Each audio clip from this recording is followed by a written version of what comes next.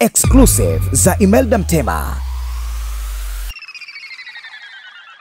Tausi Mgedela ameposti akasema huyu ni mwanamke. Hapo ndo nikaza na Loveness, unajua kwa nini mimi nimeanza kujiuliza, nikasema kaangalia vipi maziwa, na maana hujawahi kuwa na maziwa kabisa. Kwa unaweza kaingia chuo cha kike akajua wewe ni mwanaume, akaanza kufukuza. Una mtoto na je, umeolewa? Mpenzi wako haujaweza kuzua tafrani au watu kuanza kuweka question mark, vipi huyu na huyu ni mwanaume, mwanaume inakuwaje? Unajua Loveness, watu wengi wakikuta njiani wanaweza kashangaa, ukawambia mimi naitwa Love, wakajiuliza Love, Love mwanaume, Love mwanamke. Ni swala la sketi ni ngumu kwa sasa.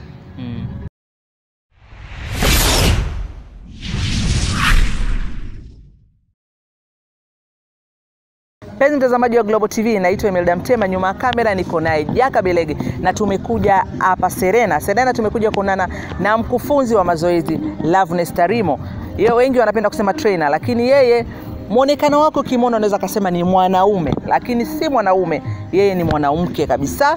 Ana jinsia ya kike, ana kila kitu, ila tu kwa sababu ni mtu wa mazoezi, na wengi wamekuwa wakimshangaa, amekuwa akipata ma, ma, ma, changamoto mbalimbali kutokana na alivyo. Ameshawahi kushika nafasi ya Miss Fitness hapa Tanzania, ah, ndio nafasi ambayo anaishikilia, lakini huko Afrika Mashariki yeye ni nafasi ya pili, na anasisitiza basi watu wathamini sana mambo ya bodybuilder. Yeye wengi wanashangaa, wanamshangaa, wanajiuliza, lakini ukweli ni kwamba ni mtu wa mazoezi. Atatueleza ilikuwaje bwana akapata mwili wa namna hiyo, lakini pia changamoto gani anazokutana nazo. Ana mtoto, ameoa, ikoje hii? Basi ungana na mimi Melda Mtema kwenye exclusive melda Mtema, twende tukamsikilize Loveness. Mambo Loveness, Poa sana. vipi hali? Safi. Ah, unajua Loveness, watu wengi wakikuta njiani wanaweza kashangaa, ukawaambia mimi naitwa Love, wakajiuliza Love, Love mwanaume, Love mwanamke. Sana sana sana. Wananishangaa sana kwa kweli. Yeah, changamoto hiyo naipata mara kwa mara. Aha. Yes. Loveness, labda tukirudi kidogo nyuma, uh, wewe ni mkufunzi wa mazoezi, wengi wanapenda kuita kama trainer, lakini nataka kufahamu hasa hii imetokeaje mpaka hapa tunapokaa, mtu kwanza kumwambia ni mwanamke inaweza ni, yani asikuelewe kwanza, akaona kama labda uh, ni mambo ya mzaa. Nashukuru Mungu, hichi ni kipaji Mwenyezi Mungu alichonipatia mpaka sasa na nakiendeleza kwa ufasaha zaidi. Aha. Yes. Na umeanzaje anzaje? Uh, kidogo kidogo tu nilianza kwenye football, nikaona football hailipi, nikaamua kuingia kwenye masuala ya fitness, mambo ya ujenzi wa mwili, mm -hmm. kubeba vyuma. Aha. Kwa hiyo ukaanza kubeba vyuma ukiwa na umri gani? Uh, nilikuwa na miaka 22, Na sasa hivi una miaka mingapi? 37. Ah, Kwa hiyo umeanza ishirini na mbili na matoka utoto, kwanza tuseme ulikuwa unapenda mambo ya kucheza mpira na ulikuwa unapenda hizo mambo ya mazoezi mazoezi. Kabisa kabisa mm -hmm. kabisa. Na kwanza nataka jua, watu wengi watajiuliza, maana mimi, mimi kiukweli nimeona kwa Tausi Mgedela ameposti akasema huyu ni mwanamke. Hapo ndo nikaza nimeona watulisha msuri watu wakaanza kujiuliza, yani hivi imekuwaje eh?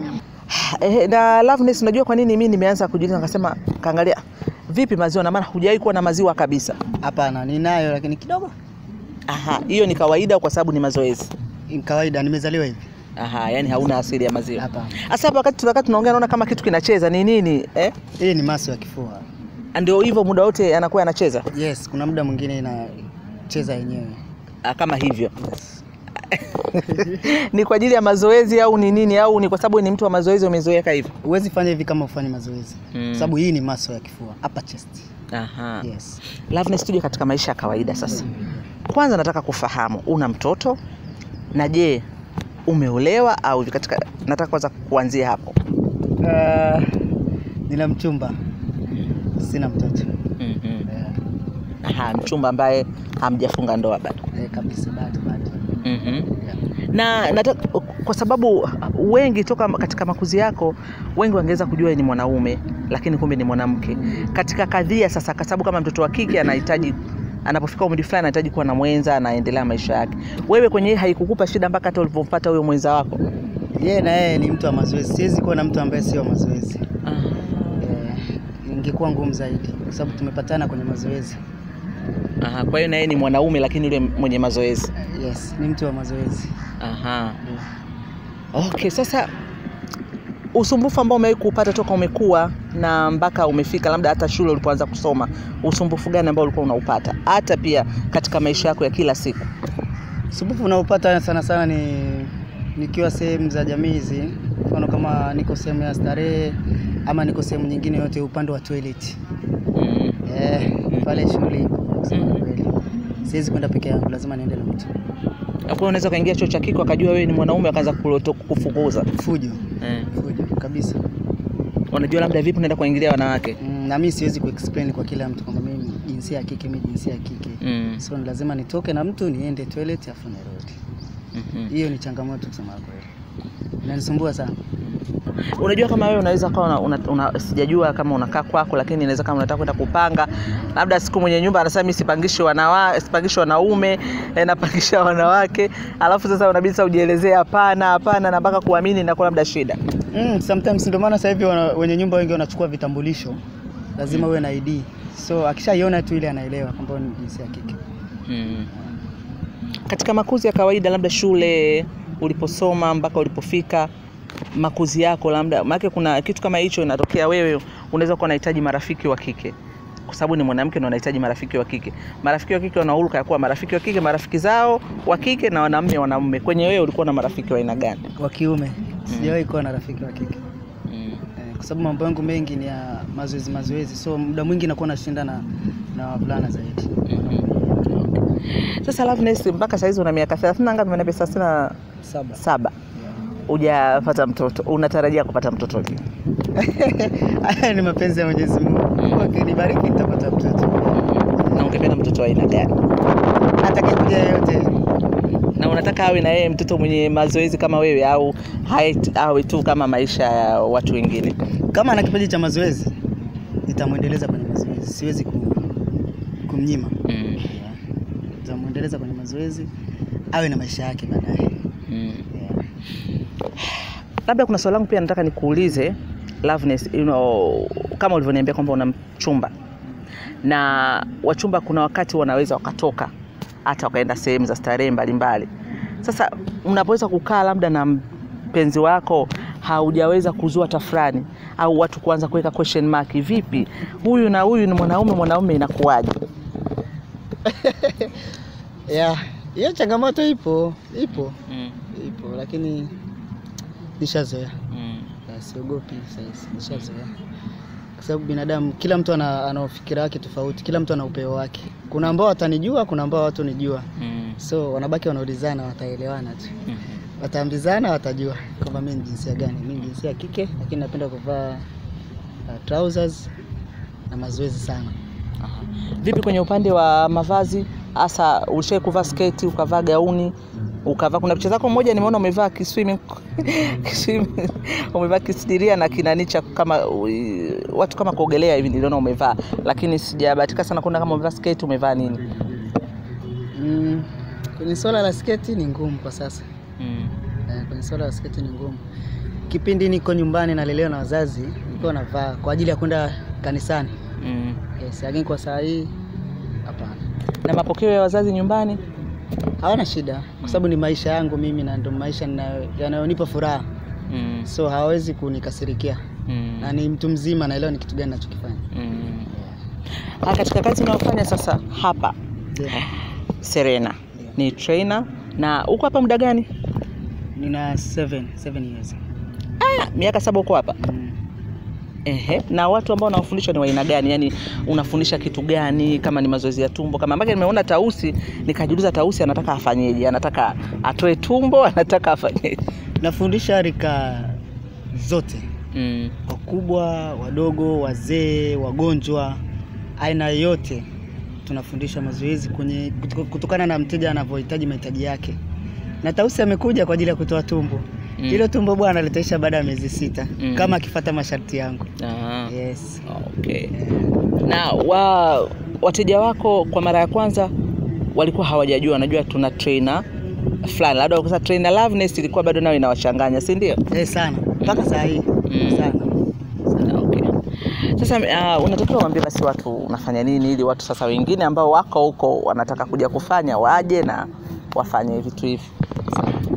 Uh, mimi ni mwalimu wa mazoezi natambulika kama Loveness Stanley Tarimo, tena hapa Serena Hotel. Tunakaribisha rika zote kwa yeyote anayehitaji kufanya mazoezi, kwa sababu mazoezi ni tiba. E, tusikae tu kukimbia tu barabarani. Pia gym nayo ni mazoezi mazuri, kuna swimming pool, kuna sauna, kuna, kuna steam. Huduma zetu ni nzuri, nyote mnakaribishwa.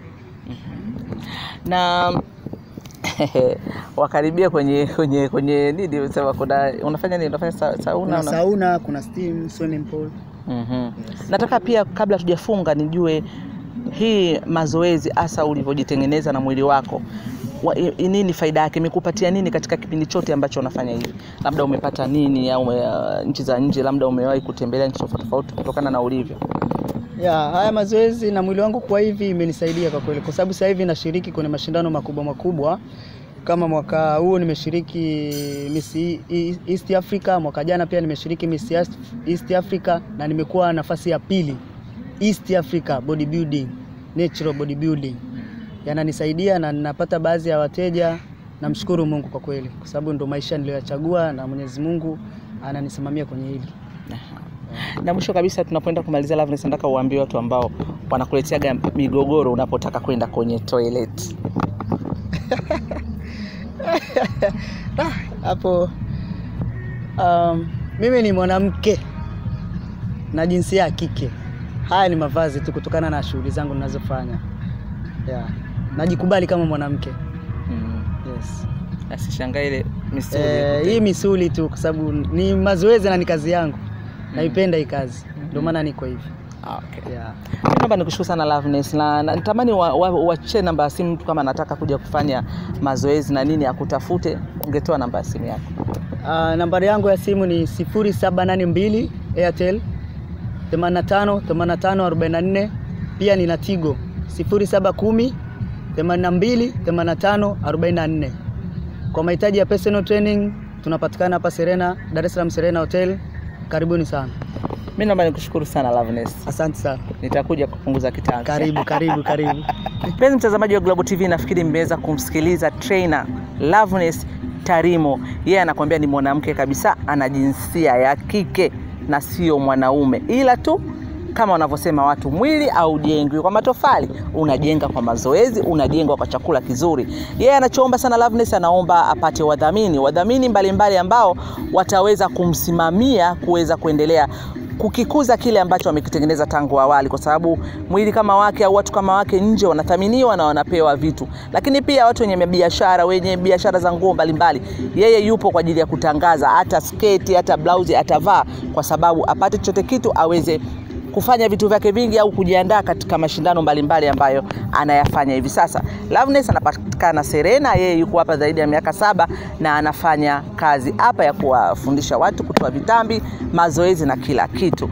Mi naomba nikushukuru sana mpenzi mtazamaji wa Global TV, nishukuru sana Serena hapa kwa kuweza kutupa nafasi pia ya kufanya na na Loveness interview na pia naomba nimshukuru kameramani wangu ambaye ni Jaka Belege kwa kuweza kunirekodi na kuweza kupata interview nzuri kabisa. Naomba nikushukuru, endelea kutizama Global TV Online. Asante.